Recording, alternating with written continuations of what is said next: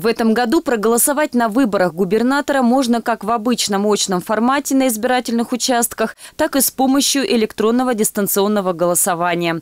В каждый из трех дней 8, 9 и 10 сентября избирательные участки будут работать с 8 утра и до 8 вечера. В нашем округе их список и состав комиссии уже утверждены. У нас в общей сложности 173 избирательных участка на территории Одинцовского городского округа образованы. Ну, они преимущественно будут в тех же местах, которые были, за очень небольшими исключениями.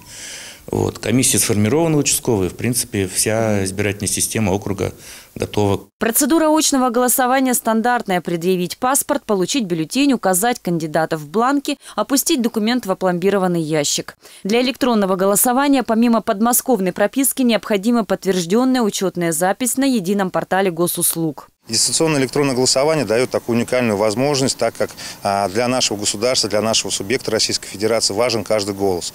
И, соответственно, для того, чтобы каждый мог поучаствовать, соответственно, может проголосовать онлайн. А, ничего сложного в этом на самом деле нету. Достаточно написать заявление а, на госуслугах, зарегистрироваться на определенном специальном портале и в день голосования проголосовать.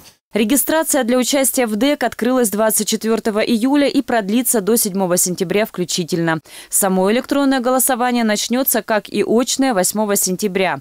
Такая процедура необходима, чтобы исключить из списков на избирательных участках тех, кто голосует дистанционно. Полина Бахова, телекомпания «Одинцова».